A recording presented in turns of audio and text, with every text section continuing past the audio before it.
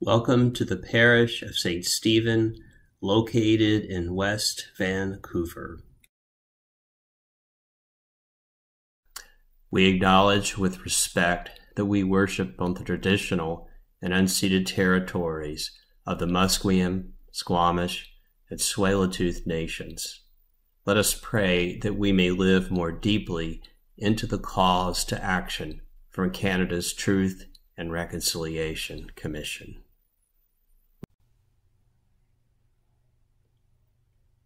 The grace of our Lord Jesus Christ, and the love of God, and the fellowship of the Holy Spirit be with you all, and also with you.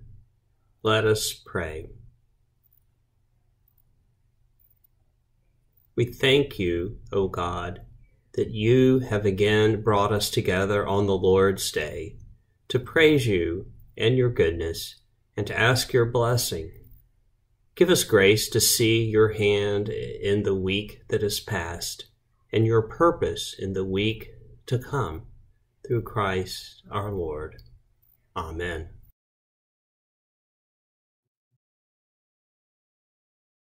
Destitute King, one with the hungry, the naked, and the scorned, may our faith be proved not in dogma and piety, but in serving you in the last and the, and the least, through Jesus Christ, the stranger's Lord.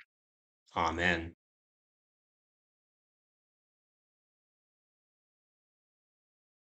One, two, three, Rich and poor alike, listen with your own heart. His love is for us all. His love is for us all. Oh, rich and poor alike, listen with your own souls. Do not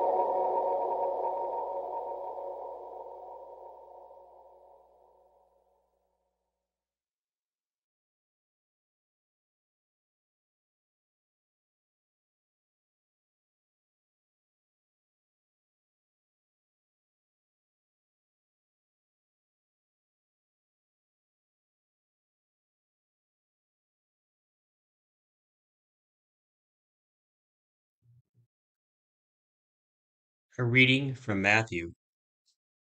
Jesus said, When the Son of Man comes in his glory, all the angels with him, then he will sit on the throne of his glory.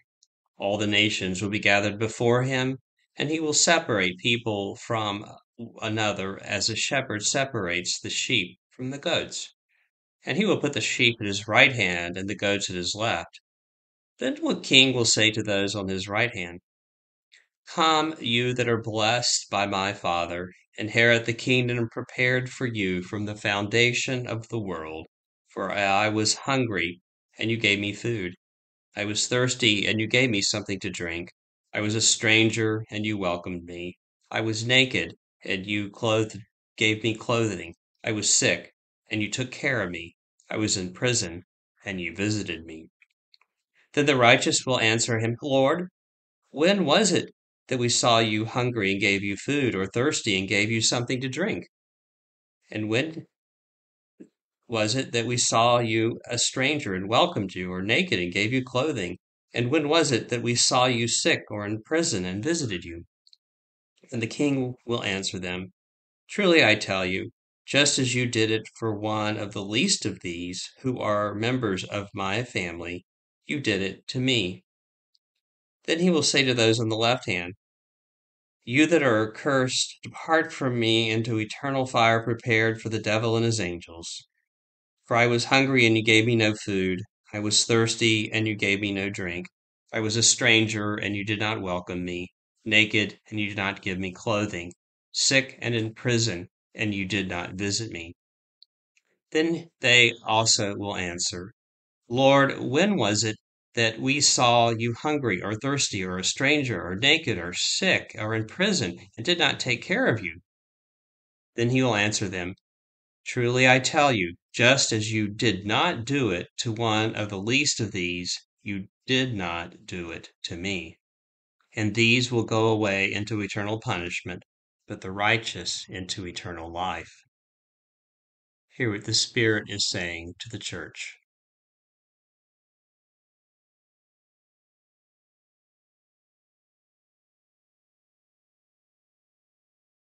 In that lesson from Matthew, Jesus tells a story about the Last Judgment.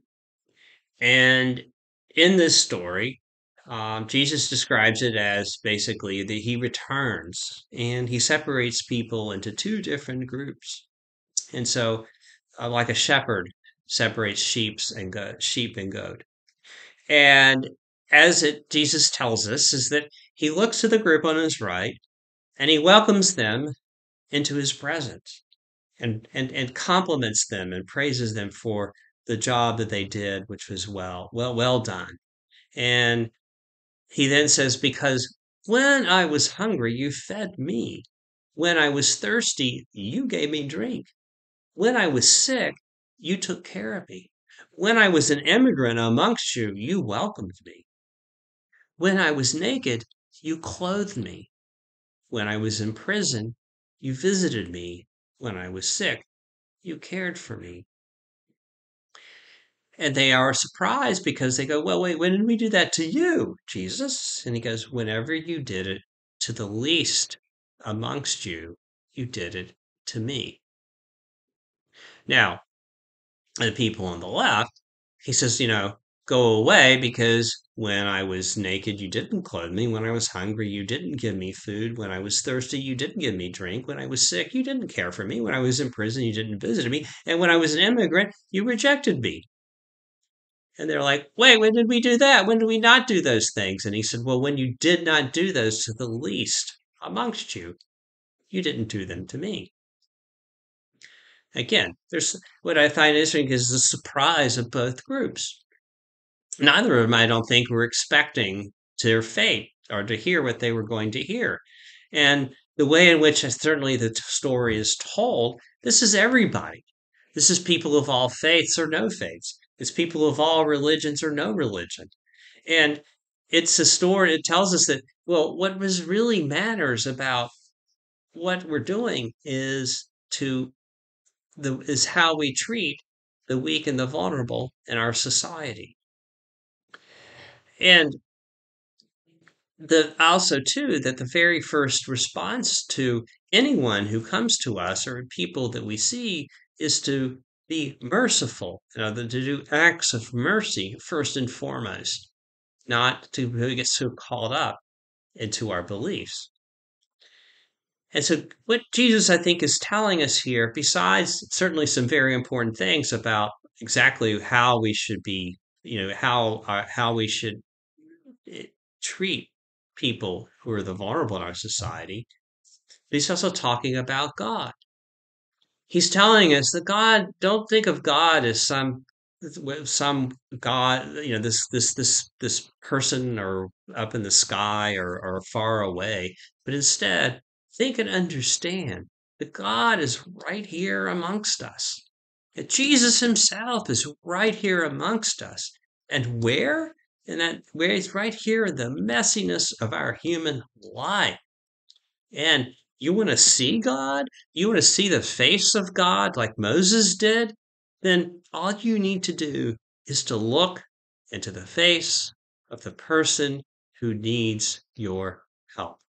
You need to look at the face of the weak and the vulnerable, those that are rejected by our society, on the margins of our society, and then you will see the very face of God. It's powerful. The other thing I think that is interesting about this story is Jesus makes no mention of the religion of people on either side. It's almost as if that one's beliefs don't matter. That whether one reads one's Bible or not almost doesn't matter. That that's not the criteria that's going to it's the one you're going to be measured by. You're going to instead be measured by how much you love, by how merciful you are, and by how much you cared for the people that are in need around you. What this also tells us is that God is very concerned about the very small things in our life. The very the thing, in other words, that God is cares about how we act on a day-to-day basis in our interactions with everyone around us. It's also too, I think it's important about who we select to be our leaders. Do we select people who are more characterized by doing the things that Jesus mentioned or by leaders that are more concerned about protecting the end group and protecting those that have instead of caring and taking care of the have nots? Now, ultimately, too, within this, I think that Jesus is telling us is that God very much wants us. God wants every one of us. God is not really interested in sending away those people on the left, that that's not the first decision. Instead, God loves us. God truly does want to save all of us. And saving in this case doesn't mean just getting in to heaven. Instead, it means transforming our very hearts. It means that God desires to touch us in our deepest parts of our souls and transform us into a people that automatically first thought is is to care for the person who needs us is to go about making sure that we live in a society and in a world that is characterized by that. It's a different world in which we live in. Instead of a world where power reigns supreme we wish to create jesus wishes to wishes that Jesus Jesus desires that we instead create a world where love and mercy reign. Now, not many of us have the power to somehow make our entire world. You know, we're not politicians, and we we we we're not the people who really have all the power. But what really is going on here is Jesus is telling us, is in the very mundane and small little acts in our life that they are going to either reflect the love and mercy of God or they're going to reflect evil.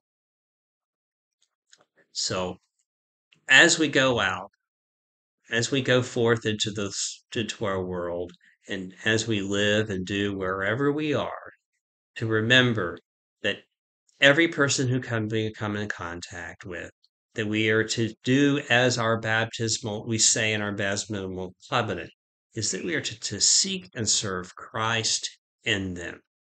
We are to respect their dignity as a human being. It doesn't mean that we have to understand or agree with everything they do, but instead we are to seek and serve Christ as if they were Christ. Because I know this that if any of us were to encounter Jesus, we would do anything that Jesus asked. We would treat him with great respect and shower him with whatever he wanted. Oh wait, Jesus, you need shoes. Here's the shoes. You know, Jesus. Oh wait, you need some wa- clean water. Here's clean water. Oh Jesus, you're new to our community. Welcome. Let me show you around. It's kind of a very again, it's a very a very exciting, in my opinion, thought about what it is we're supposed to be doing and how it is, especially you know that here at St. Stephen's, we've been talking about a ministry plan that let us hope that whatever ministry that we figure we decide that we're going to engage in, that it reflects what Jesus is telling us in the story of the Last Judgment, in order that we indeed are truly living as Jesus would have us live, as God would have us live, as God intended us human beings to live and to always recognize that the secret of life, the very truth of life is this to love is to truly live and to fully live. Amen.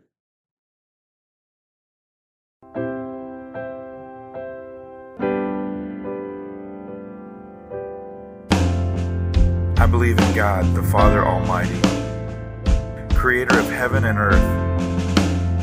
I believe in Jesus Christ, God's only Son, our Lord, who was conceived by the Holy Spirit, born of the Virgin Mary, suffered under Pontius Pilate, was crucified, died, and was buried. He descended to the dead, and on the third day he rose again. He ascended into heaven. He is seated at the right hand of the Father, and he will come to judge the living and the dead. I believe in the Holy Spirit, the Holy Catholic Church, the communion of saints, the forgiveness of sins, the resurrection of the body,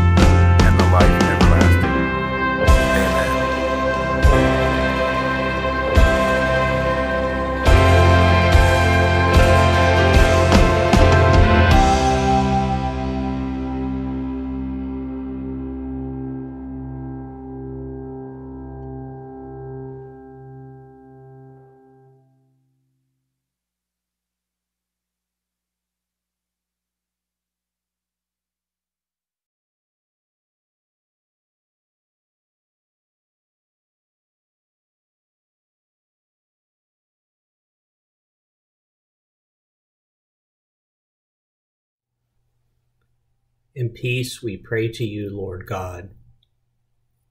For all people in their daily life and work, for our families, friends, and neighbors, and for those who are alone.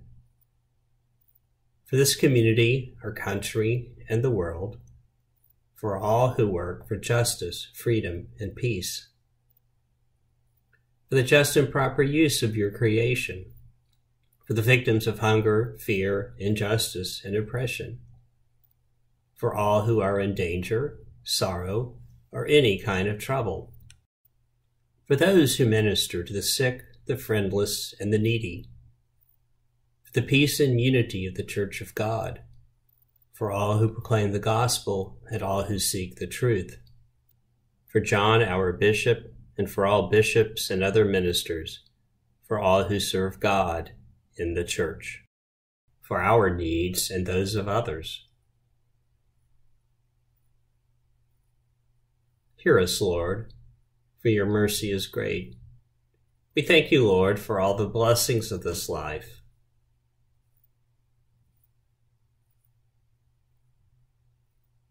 We will exalt you, O God, our King, and praise your name forever and ever. We pray for those who have died in the peace of Christ, and for those whose faith is known to you alone, that they may have a place in your eternal kingdom. Lord, let your loving kindness be upon them who put their trust in you. Gracious God, you have heard the prayers of your faithful people You know our needs before we ask, and our ignorance in asking. Grant our request as may be best for us. This we ask in the name of your Son, Jesus Christ our Lord. Amen.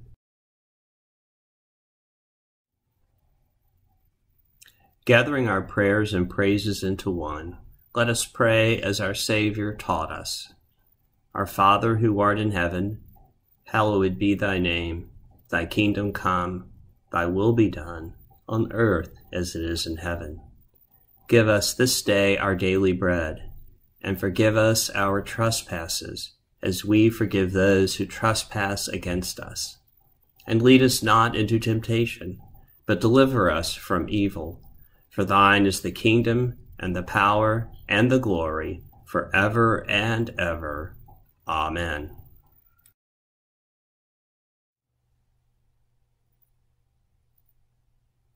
Glory to God, whose power working in us can do infinitely more than we can ask or imagine. Glory to God from generation to generation, in the church and in Christ Jesus, forever and ever. Amen. May the God of hope fill us with all joy and peace in believing through the power of the Holy Spirit. Amen.